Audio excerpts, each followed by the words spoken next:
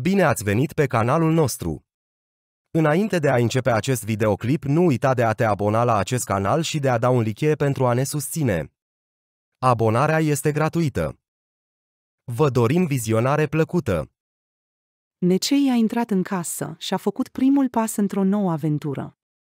Chiar dacă este hotărât să stea ferm, experiențele sale din prima zi îl duc la disperare. Han face tot posibilul să-l facă pe Necei confortabil, dar Safi are planuri diferite.